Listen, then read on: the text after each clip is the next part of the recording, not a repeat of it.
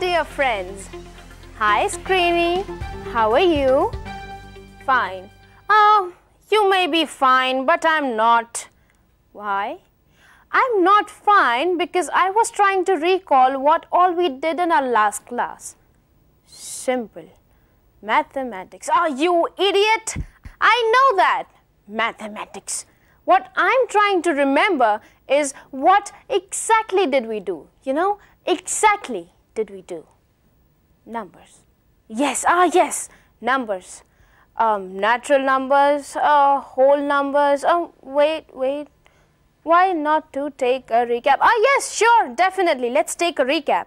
We start with number line. Number in the center is 0 and right side positive numbers and left side negative numbers all represented by z that is integers. The 0 along with positive and negative numbers are called integers. Bag of numbers and information of Pythagoras.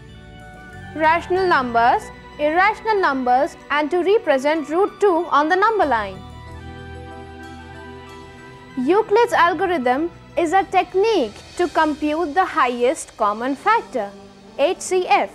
That is, A is equal to BQ plus R, 0 less than equal to R less than B, where Q or R can be 0 also. Actually, you know what, Screeny? What? I knew all of it, but uh, it's just that I wanted to see if you remember it or not. Huh? Oh, I know, I know. Whenever I've asked you something, you go blank and I like it. I'm telling you, even our man will agree to it that I am more intelligent than you are. Yeah, right. Yeah, more. Intelligent, isn't it? Uh, uh, ma'am, uh, ma'am, uh, we did a recap too. Good. Screeny, Kelsey, as you have done the recap, shall we proceed? Oh, sure, ma'am. Yes, yes. Kelsey, Screeny and all my dear students. As you know from your earlier knowledge that numbers can be divided into two, prime numbers and composite numbers. Numbers can be grouped as prime numbers and composite numbers. Before we go in for the explanation of fundamental theorem of arithmetic, we will first understand what are composite numbers and prime numbers. Composite numbers are those which can be factorized into small factors which can be in turn prime or composite. So dear student, we understand this by taking an example. How composite number can be factorized? We divide 1176 by smallest factor. It can be 2 also, it can be 3 as it is an even number. So by divisibility factor we can say 1176 divided by 2 we get 588 again 588 divided by 2 we get 294 dividing 294 by 2 again we get 147 now if we check 147 it's an odd number. We divide it by 3 we get 49 49 is divisible by 7 7 into 7 makes 49. 7 divided by 7 and 1. We write 1176 as 2 multiplied by 2 multiplied by 2 multiplied by 3 multiplied by 7 multiplied by 7. So 1176 can be expressed as 2 into 2 into 2 into 3 into 7 into 7. These are all factors. And what factors are these ma'am? These factors are prime numbers. When we factorize a composite number, we get small factors which are prime. So ultimately when we factorize a composite number, the factors we get are prime which cannot be further factorized into small numbers. Ma'am, can we factorize a bigger number also? Yeah, of course. Children, similarly we can factorize a bigger number 32,760. We factorize it by a smaller number that is by divisibility factor we can take another factors also. We can factorize it by 3, we can factorize it by 5 also. But since 2 is a smaller number, smallest factor, we divide this number by 2, 32,760 is divided by 2, we get 16,380. Again, dividing it by 2, we get 8190. Again, divide by 2, we get 4095. Dividing 4095 by 3, we get 1365. Now we can divide 1365 even by 5, but we have divided by 3, so we get 455. 455 again divided by 5, we get 91. 91 can be divided by 7, we get 13. 13 is divided by 13 itself, we get 1. Since 13 is a prime number, so we can express 32,760 into smaller numbers like 2 multiplied by 2 multiplied by 2 multiplied by 3 multiplied by 3 multiply by 5 multiply by 7 multiply by 13 and in the last 1. So we have factorized 32,760 into smaller factors which are in turn prime numbers. So ultimately we can say any composite number can be further factorized into prime numbers. So looking at these examples, it leads to a conjecture that every positive integer is prime or it can be expressed as a product of prime numbers which leads to a fundamental theorem of arithmetic. Um, ma'am, um, can you tell me what is this fundamental theorem of arithmetic? Yes, Kelsey. Fundamental theorem of arithmetic states that every composite number can be expressed as a product of primes and this factorization is unique except for the order in which the prime factors occur. Well, can you repeat the theorem, Kelsey? Every composite number can be expressed as a product of primes and this factorization is unique except for the order in which the prime factors occur. Good, Kelsey. Enough of theory now. Can you tell me who was called the prince of mathematicians? Yes, ma'am. He is called Frederick Gauss. Yeah, Frederick Gauss was one of the greatest mathematicians amongst Archimedes and Newton. He was the prince of mathematicians who has contributed in mathematics and science both. Now children, fundamental theorem has got some applications. We'll understand this by doing some examples. First example, we'll express each of the following positive integers as a product of prime factors. 3825. We are factorizing it into divide by 3, we get 1275 we divide 1275 by 3 again, we get 425. Dividing it by 5, we get 85. Again dividing 85 by 5, we get 17. And in the last, we get 17 into 1. So, 3825 can be expressed as 3 multiplied by 3 multiplied by 5 multiplied by 5 multiplied by 17 multiplied by 1 equals to 3 square multiplied by 5 square multiplied by 17 multiplied by 1. So these are the prime factors of 3825. Ma'am, can you explain this with a bigger number? Yeah, of course. Why not? Come on, let us take a bigger number 5,56,920. We are factorizing this number by using a divisibility theorem. Again a theorem? Yeah, come on, Kelsey. It's very easy. We add up the numbers 5 plus 5 plus 6 plus 9 plus 2 plus 0 comes to 27. yeah 27 which is divisible by 3.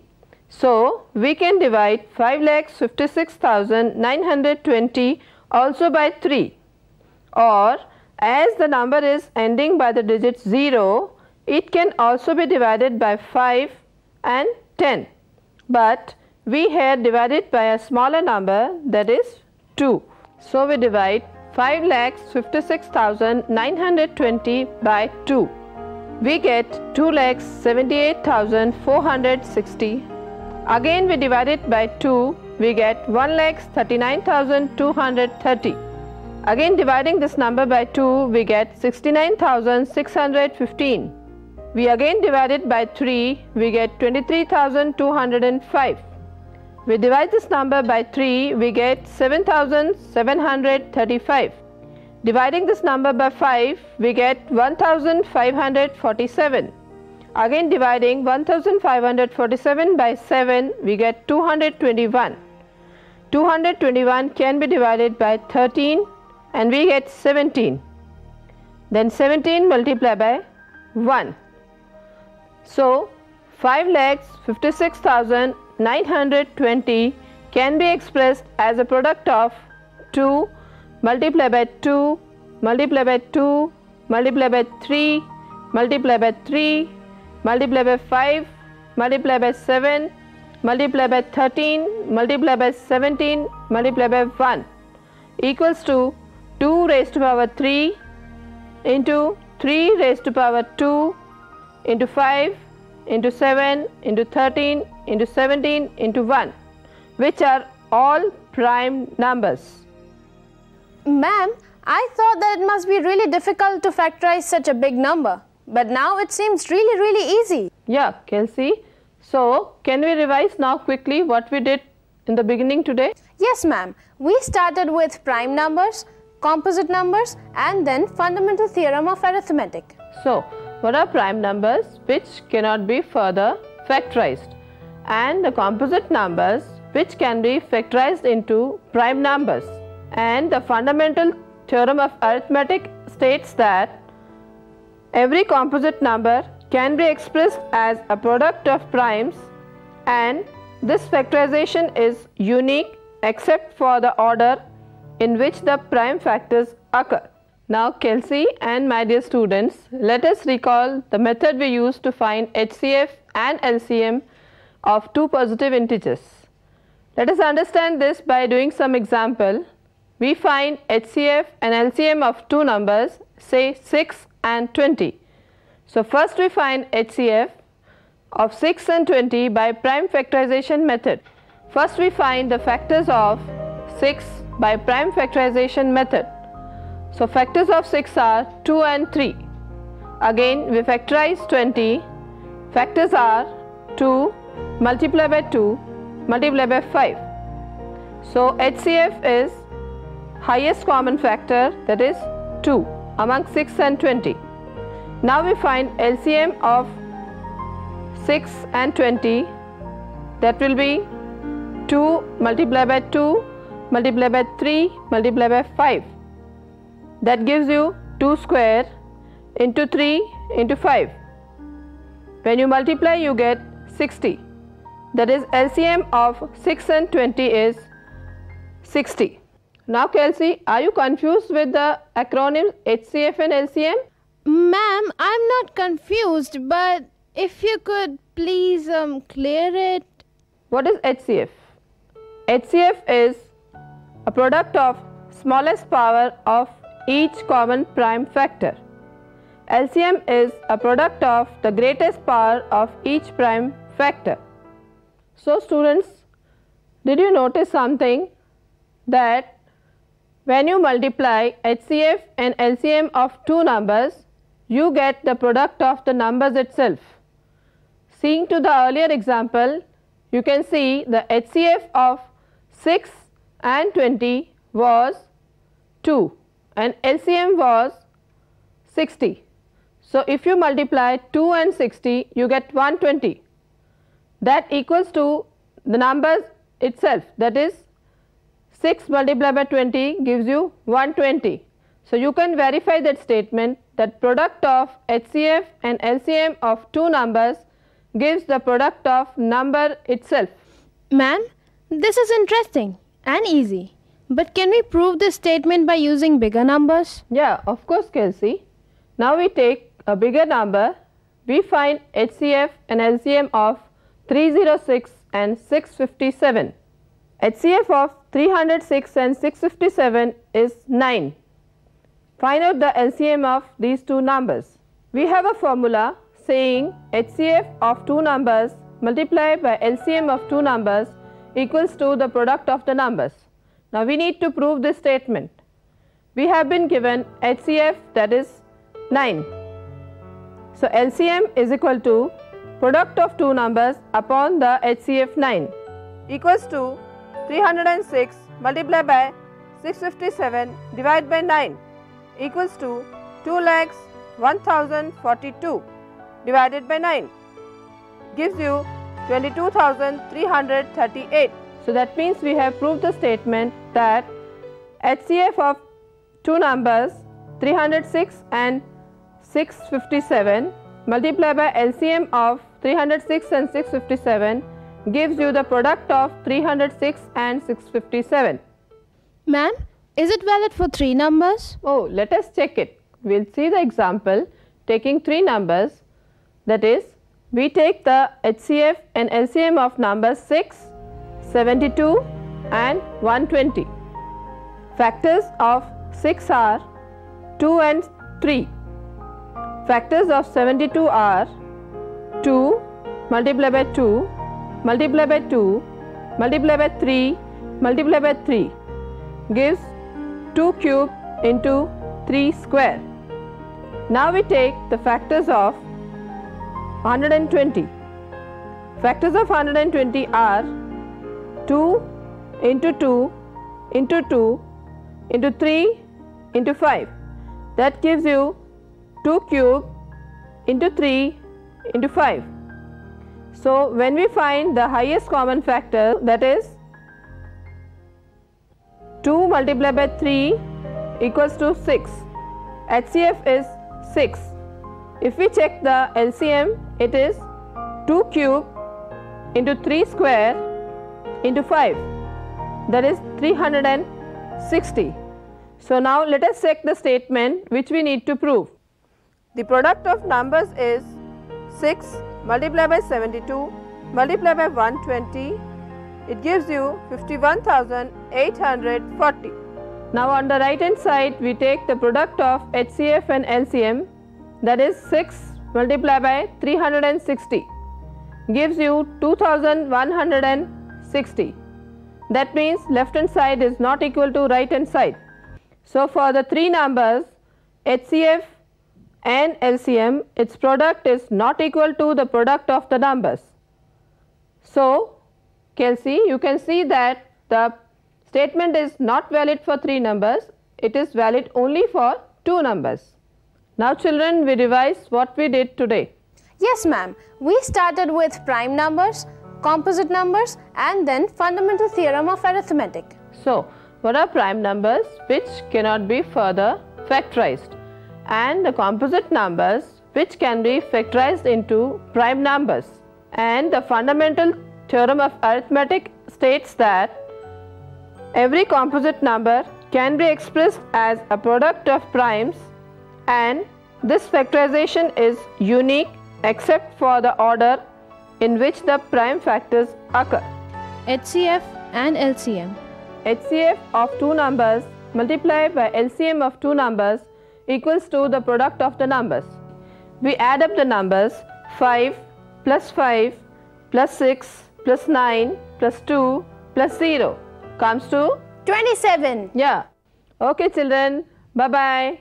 Bye Kelsey. Okay, ma'am. Bye bye. Bye Screeny.